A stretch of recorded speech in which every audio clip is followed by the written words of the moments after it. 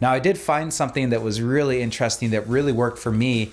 And any of you that have a NeoRhythm at home, I really encourage you to try this so that you can give me feedback on the YouTube channel. It was like the dam burst open. It was like, boom, you know, all the energy coming in. Hey everybody, welcome to Tech for Psych, where we combine the latest in neurotechnology with ancient wisdom to supercharge your brain. I'm your medical doctor confidant, Dr. Cody Rall. In this video, we'll be taking a look at the NeoRhythm and diving into how you can use it best for your meditation.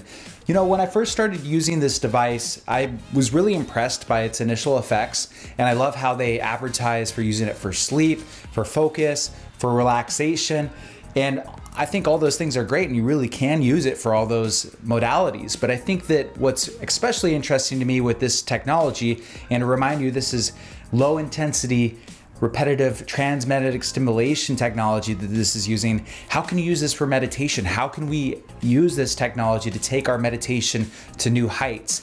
And naturally, I was really curious what would happen if you combined it with use with the Muse headband. You know, I talk about the Muse headband a lot on this channel. I talk a lot, a lot about meditation. So the combination seemed obvious to me. And I had a lot of questions when I first started using it. It was, does the NeoRhythm actually affect the EEG patterns of the Muse headband and contaminate the signal? What's the best way to use the NeoRhythm headband with the regular Muse meditation app? What's the best settings to look into when you're using the NeoRhythm, when you're trying to use it for meditation, and then simply what's the best way to meditate with the NeoRhythm. So we're gonna take a look at all those questions and answers here in this video, and I hope you enjoy. So I did a video in the past in which I took a look at how the NeoRhythm might contaminate the Muse signal. And it was difficult for me to really find any signs of contamination, especially when you compare it to the electrical signal contamination that you would get from the Halo Sport. And just to remind you, this is because from the Halo Sport, you're getting direct electrical currents coming from the nibs to stimulate your motor cortex, whereas the NeoRhythm is relying on magnetic waves instead. So they shouldn't cross over too much into the electrical signal of the EEG coming from the Muse.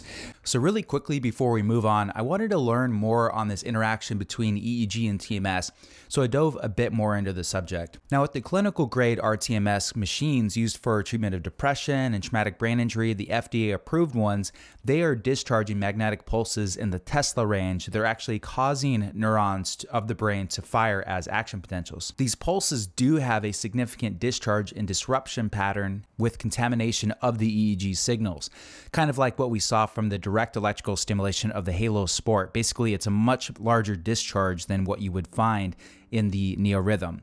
Now, in the research community, there have been efforts to do EEG filtration and timing techniques to gauge how the high intensity RTMS affects brainwaves because EEG is so relatively cheap and widespread. They basically have to avoid or filter out the disruption from the large magnetic pulses of the clinical grade TMS. Now, for the low intensity RTMS of the NeoRhythm, the effects are much less detrimental to the EEG signal. In fact, it seems common practice in the literature to combine EEG data collection techniques with low intensity TMS in order to study its effects. This is because the low intensity RTMS uses magnetic pulses in the millitesla range that do not discharge neurons, disrupting the EEG signal. We saw Dr. Jurgensen using EEG in both of his randomized control trials without discussion of signal contamination in the EEG.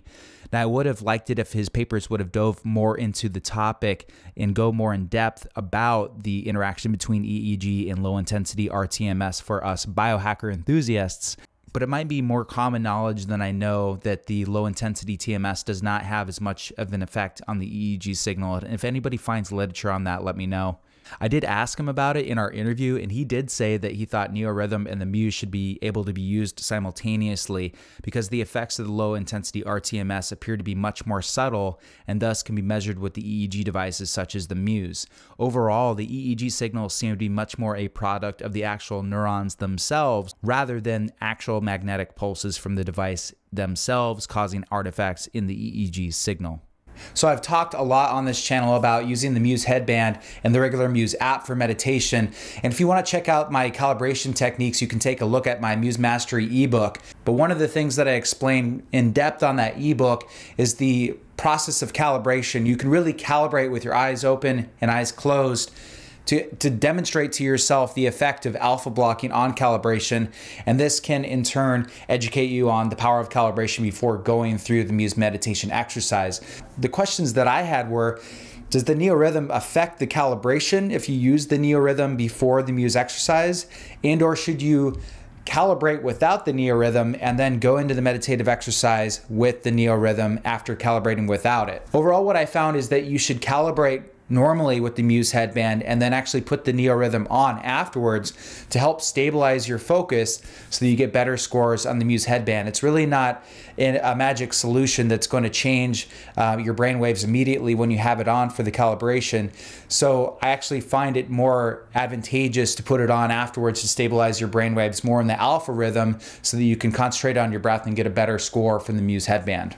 You know, I was really surprised when I was using the Neo Rhythm with meditation because it actually supported some of the ideas that I've had about my meditative techniques, probably what brainwaves are playing into it and how to affect those brainwaves. And I'll take you through that you know, I've had tutorials in the past in which I explained how I go up different focus centers within my spine and open them up to energetic circulation and then direct my attention to higher energy levels to raise my vibration, as the Raising Vibration uh, Heart Mind Alchemy group would say and then using that energy to bring it back into focus on the breath or nimitta. And really, in terms of brain waves, the research supports that your brain is mostly within a relaxed alpha rhythm if you are just concentrating on the breath. But if you try to elevate to higher states, you're getting a lot more of beta and gamma. And you can see this on some expert level um, mind monitor graphs that have been shared on this channel before.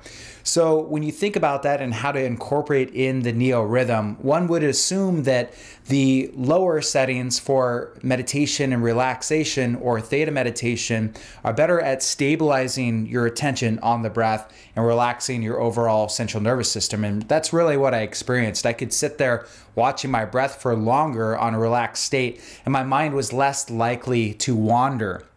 But I will tell you on that neo rhythm setting, it was more difficult to ascend to the higher levels and feel like I had energy circulating through my central nervous system, probably because the beta and gamma waves are a little bit suppressed from that neo rhythm setting. And in contrast, when I would actually use the neo rhythm in the higher energy and vitality settings that promote beta and gamma waves, it was more difficult for me to keep my mind on the meditation object, but it was easier for me to get to those higher energy levels, or at least I wasn't getting blocked in from getting to those higher energy levels. So it was easier to get those higher energy levels when I directed my attention up to the third eye and while I'm doing spinal breathing. So I noticed that. So I think which neorhythm settings to use during meditation actually would depend on the person. And I just compiled a, a report that I'm giving in Hawaii over a virtual conference about my brain circuit circuit training program in which I take people through different modules and target different brainwaves to see their tendencies. And really, what I've seen from the brain circuit training program is that some people tend to gravitate towards having too much theta, and some people gravitate towards having too much beta. Either they're too drowsy in their meditations or they're too heightened and distracted in their meditations. And it's a dance about when to actually introduce those brainwaves in your own meditation practice to get to the higher and the deeper levels and enhance your energy reserves so that you can focus on the breath so that you can have nimitta come up and get transported into these wonderful things called jhana. So when I think about all this, I really think about if you have someone that is getting too drowsy and falling asleep during their meditation, the energy and vitality settings might be appropriate for them on the neorhythm. Whereas if you have someone that is uh, highly anxious and has their mind darting all around and they can't concentrate on the breath, then you probably want to do use the meditation theta and meditation uh, calm and relaxation settings on the neorhythm to help them with their meditation. Now, if you've got someone like me or some expert level meditator, what settings should you use then? Well, you could do Myndlift exercise to determine your uh, the areas that you need to work on so that you can educate yourself on how to use the neo rhythm within a program or at home like that. Or the other thing is that you could just try them out and see how it works for you. Now, I did find something that was really interesting that really worked for me. And any of you that have a neo rhythm at home, I really encourage you to try this so that you can give me feedback on the YouTube channel. So, what I found interesting, and you should try at home, is if I did the meditation, calming, and synchronization setting, which focuses mainly on alpha with some accompanying theta and I went through uh, my focus points within my spinal breathing, opened each one of those up, and then just focused on my breath for 10 to 20 minutes, it kind of put a suppressant on it. It's like I was focusing on the breath and you know nothing amazing was happening but i was there very present and focusing on the breath and then what happened is when i took the neorhythm off and then attempted to access those higher levels it was like the dam burst open. It was like boom, you know, all the energy coming in. So try that at home. Try these uh, priming and grounding techniques that I described in videos, like the tutorial on how to go to deeper meditation with with the Muse headband, and then uh, use the alpha settings on the NeoRhythm, and then take the NeoRhythm off and see if that energy has sort of built up from that unwavering attention on the breath, as Ajahn Brahm would say in the Meditator's Handbook.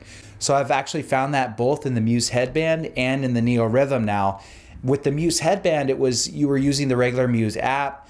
Um, you went through those preparatory exercises and then you used the regular Muse app to concentrate on your breath for longer periods of time by using the neurofeedback to keep attention on the breath. And then once the exercise was over, ascending to the higher levels. And then now I'm seeing it in the NeoRhythm as well. Instead of having that neurofeedback that's encouraging alpha while you have your attention on the breath, you actually have the TMS that's encouraging alpha while you maintain focus on the breath. And it's as soon as you remove either one of those inputs, you can really uh, go up to your third eye and just feel like these focus points, these energy waves come over you and really uh, go into a higher level with your meditation. So, really interesting that I saw things in both, and I'll be incorporating that into future studies here on Tech for Psych. But I'll leave it at that. You know, I, I just don't think that the NeoRhythm is affecting the Muse signal very much. I would recommend using the NeoRhythm uh, after you've calibrated in the regular Muse app if you want to do that. I think that um, you know, the different neorhythm settings can be applied at different times to different people, and Myndlift training might help you identify that. But if not, you can do trial and error to see what works for you.